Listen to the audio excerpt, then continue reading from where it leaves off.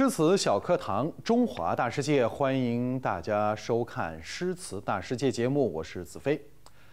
在上一集的节目中呢，我们讲了汉朝刘邦所写的《大风歌》啊，“大风起兮云飞扬，威加海内兮归故乡。安得猛士兮守四方。”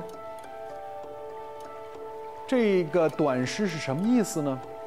刘邦啊，在一次回家乡的时候啊，喝醉了，哎，即兴一边敲着柱，就一种乐器，一边呢，唱出了这首，当时叫歌，其实就是诗啊，说的是呢，我统一天下，建立霸业，如今衣锦还乡，怎样才能得到真正的勇士？为国家镇守四方，所以呢，希望小朋友能够把这首很短、非常非常有名的这个大风歌呢记住啊，以后写文章的时候呢，这叫下笔如有神。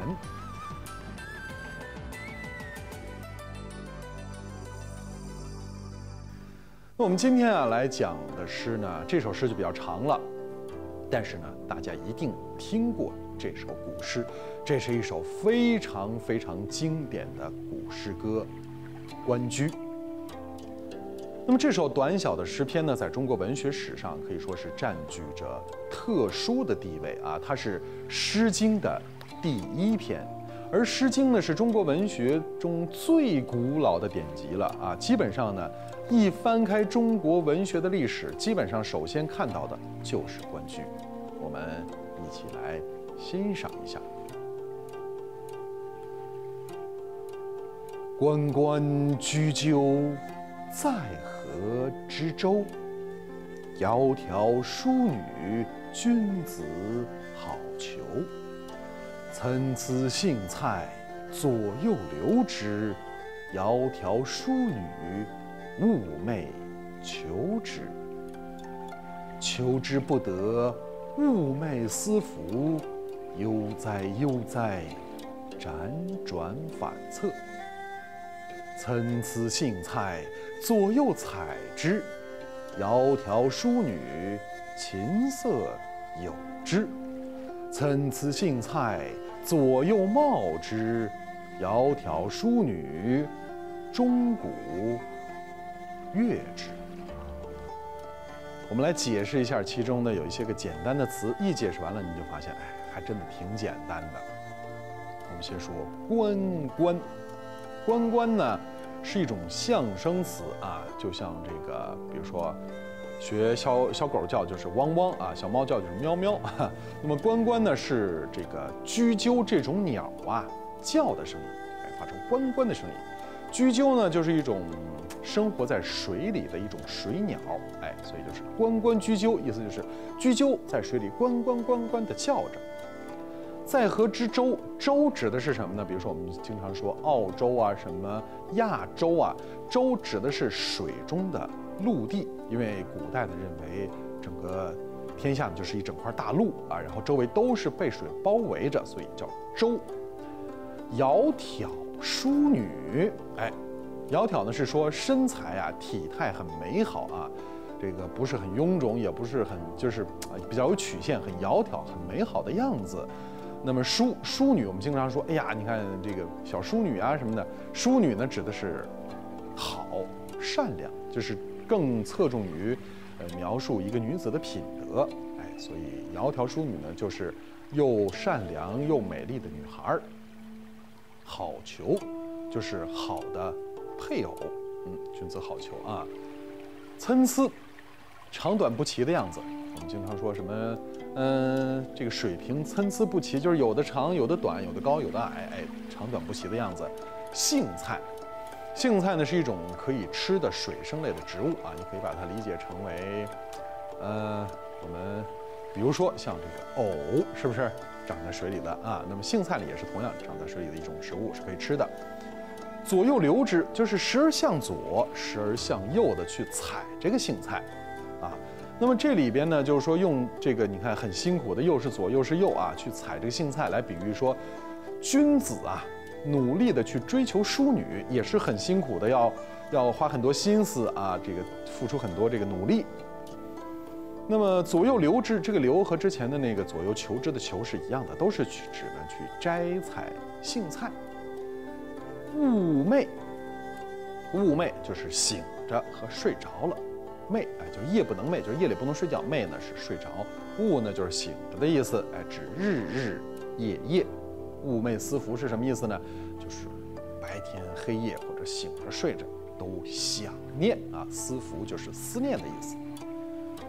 悠哉悠哉，意思呢就是悠悠啊悠长。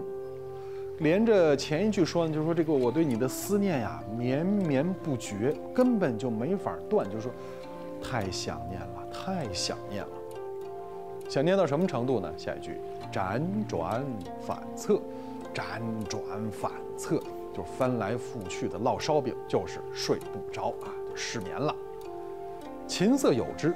就是弹琴啊，这个这不行啊，这是吉他，弹琴，然后呢来，呃取悦这个女子，跟她表示友好啊。琴瑟都是乐器，呃这句话说呢，就是说用琴瑟呢来来向这位善良美丽的女子来表达友好的感情。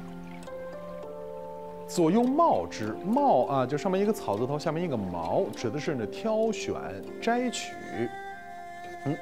呃，也是指呢，这个哎，左右呢在水里边呢去摘取这个荇菜啊，钟鼓乐之，就是用呃敲钟敲鼓哎奏乐，让这个淑女呢快乐。所以呢，这首诗呢虽然说挺长的，但是其实意思很好明白啊，就是说在关关和鸣的雎鸠，相伴在河中的小舟。那美丽贤惠的女子是君子的好配偶。参差不齐的荇菜从左到右去捞，而那美丽贤惠的女子醒来睡着都想去追求，追求却没法得到，白天黑夜总是想念她，长长的思念有。叫人翻来覆去，难以睡眠。参差不齐的荇菜，从左到右去采它。那美丽贤淑的女子，奏起琴瑟来亲近它。参差不齐的荇菜，从左到右去拔它。那美丽贤淑的女子敲起钟鼓来取悦他。好，今天我们一天一首诗呢，就先分享到这儿。非常非常棒的这个《关雎》啊，希望小朋友一定要把它背会。我会请你上节目来背。好，感谢收看，不要走开，我们休息一下，后边的内容更精彩。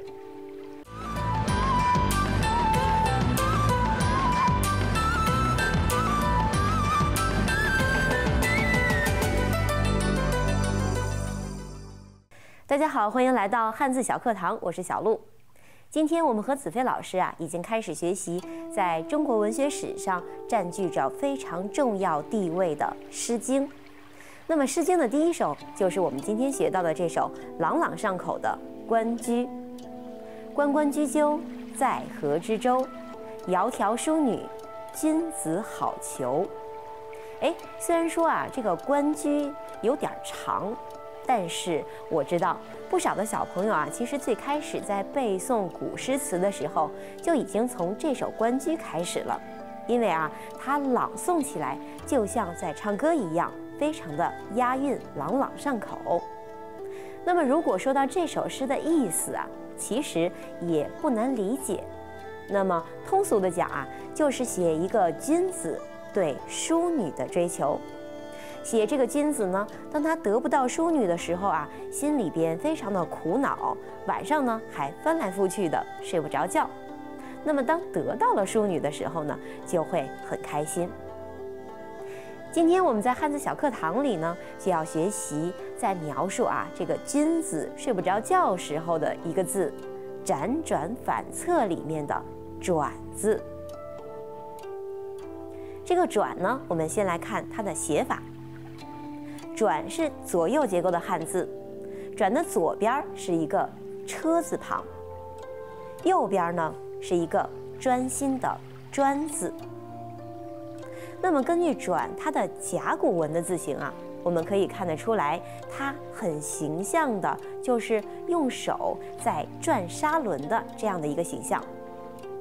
那么后来啊，在经过了金文的演化，在左边又加上了现在的这个车字旁，那么就有了让轮子飞旋、滚动、转动的意思。那么通俗的讲啊，也就是围绕一个中心旋转的这样的一层意思。转在字形上，现在看起来啊比较规整，可以小朋友们分别来练习左边的车字旁以及右边的专心的专字。如果这两边大家都写会了，那么这个转字大家应该也不难写了。那么接下来我们再从转的这个字音上来看一看啊，这里面其实也要有很多提醒大家，尤其要注意的地方。因为转呐，它是一个多音字，它既可以读三声转，又可以读四声转。另外呢，其实它还有一个比较口语的发音啊，其实也是对的，叫做拽。也是三声。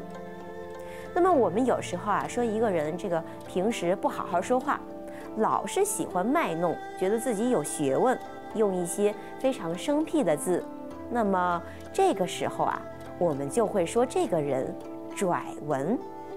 那么其实啊，这个拽这个发音就是我们今天学习的这个转这个字，它其中的一个发音。那么相比较而言啊，这个转的前两个发音更常用一些。接下来呢，我们就分别用这两个发音来给大家组组词，加深一下大家对他们的印象。当转发三声转这个音的时候，那么更多的它是用作动词。这个时候呢，我们就可以组词旋转。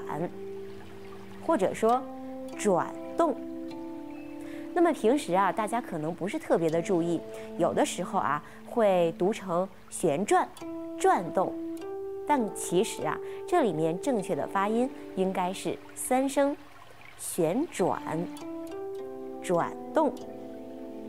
同时也是动词的啊，还有转身。转身，给大家举一个例子。比如说啊，现在在非常火的这个唱歌选秀的比赛里面，我们通常都知道会有四位或者说更多位的导师。那么导师为谁转身？这里边的转身就是这个词。另外还可以组词转移。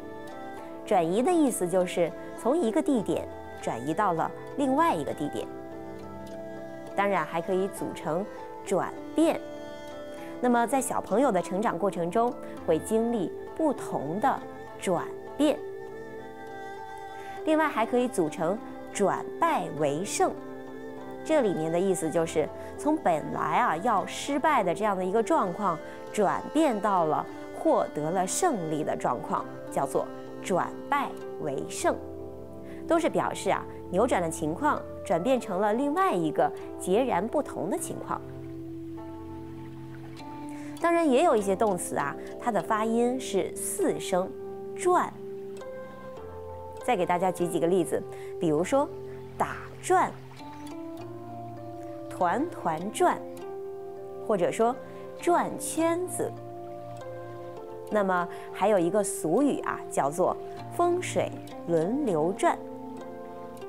那么再有啊，我猜想一下，小朋友不知道在小的时候啊，喜不喜欢一种非常简单的游戏？这种游戏就叫做转圈圈。哎，这种游戏没什么规则，其实它的玩法就是不停的转圈圈，是不是？有的时候我们的家长或者爸爸妈妈就会说提醒你不要转晕了。但在这里面，我们也是学到的同一个转字，绕一圈儿叫做一转。是一个量词，那么下一次啊，大家如果玩这个游戏转圈圈的话，可以来数一数，最多啊，你可以转多少转？好了，以上就是今天汉字小课堂的全部内容。稍后啊，我们来休息一下，来听子飞老师给大家分享中华小故事。